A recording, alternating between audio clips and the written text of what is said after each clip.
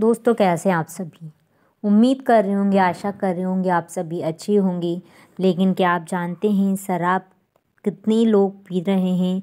तो आइए जानते हैं क्या करें। इससे पहले अगर आप हमारे चैनल पर नए हैं तो चैनल को सब्सक्राइब कर, वीडियो को लाइक कीजिए और सभी के साथ शेयर कीजिए। आजकल जहाँ देखो वहाँ शराब इतनी ज़्यादा मात्रा में लोग इसका सेवन कर रहे हैं। लोग शराब के कारण बहुत सी बीमारियों के शिकार भी है, लेकिन फिर भी वो उस चीज़ को ना नज़रअंदाज करते हैं, उस चीज़ पर बिल्कुल ध्यान नहीं देते और शराब इतनी ज़्यादा मात्रा में पीते हैं जिसकी वजह से परिवार भी परेशान है और अनेक बीमारियाँ होती है, जैसे कि धमनी या ब्लॉक हो सकती है। जी हाँ दोस्तों सेकेंड है आपका आपका जो ब्लड होता है, हमारा जो ब्लड होता है, उस जब हम शराब पीते हैं निकोटिन अल्कोहल हमारे शरीर में जाएगा तो हमारा जो खून है, वो गाढ़ा होगा और गाढ़ा होने की वजह से कई बीमारियाँ होगी।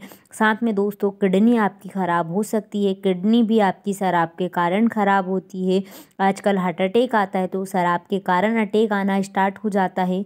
वहीं दोस्तों दिल की बीमारियाँ भी आपको बहुत जल्द इससे होगी। वहीं ब्लड कैंसर कैंसर जैसी समस्या बहुत ज़्यादा आती है। तो आपको करना क्या है सोंठ। जी हाँ दोस्तों, सोंठ बाज़ार में आपको इजीली मिल जाएगा। सोंठ आप सभी ने अगर नहीं सुना तो मैं आपको बता दूँ, अदरक को सूखा कर उसका चूर्ण बनाया जाता है, उसे सोंठ कहते हैं।